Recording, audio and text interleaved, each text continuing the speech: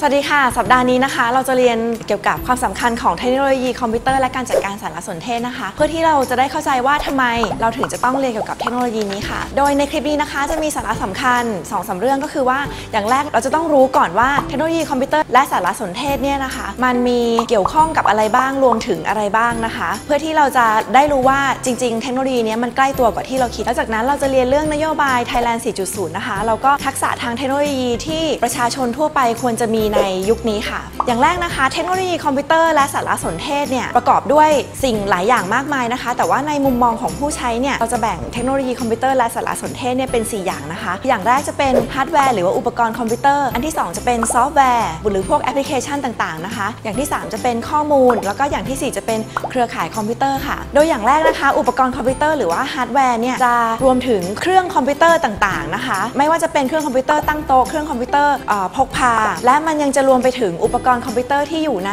เครื่องมือต่างๆ ด้วยนะคะ อย่างเช่นโทรศัพท์มือถือ รถยนต์ หรือว่าเครื่องจักร แล้วก็อันที่ 2 นะคะ ซอฟต์แวร์คอมพิวเตอร์เนี่ยนะคะ จะเป็นพวกโปรแกรมคอมพิวเตอร์ค่ะ ซึ่งรวมถึงโปรแกรมคอมพิวเตอร์ที่เราใช้ในสำนักงานต่างๆ อย่างเช่น Office หรือว่าโปรแกรมท่องอินเทอร์เน็ต รวมถึงโปรแกรมที่เราเขียนขึ้นมาเพื่อทำงานด้านต่างๆ ด้วยค่ะ แล้วซอฟต์แวร์ยังรวมถึงโปรแกรมปัญญาประดิษฐ์หรือว่า AI โปรแกรมวิเคราะห์การทำเหมืองข้อมูลที่เราได้ยิน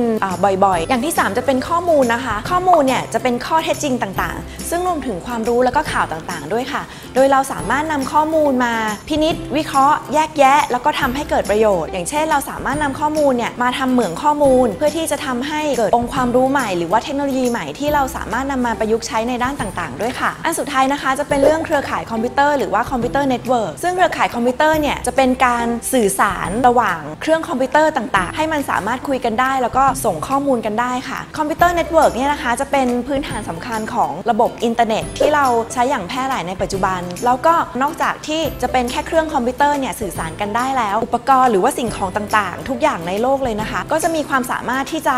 สามารถสื่อสารกันได้ โดย concept นี้จะเป็น concept ของอินเทอร์เน็ตของสรรพสิ่งหรือว่า Internet of Things นะคะ อย่างเช่นในอนาคตเนี่ยเราอาจจะมีการที่แอร์รถยนต์คอมพิวเตอร์แล้วก็มนุษย์เนี่ยสามารถคุยกันได้หมดเลยค่ะ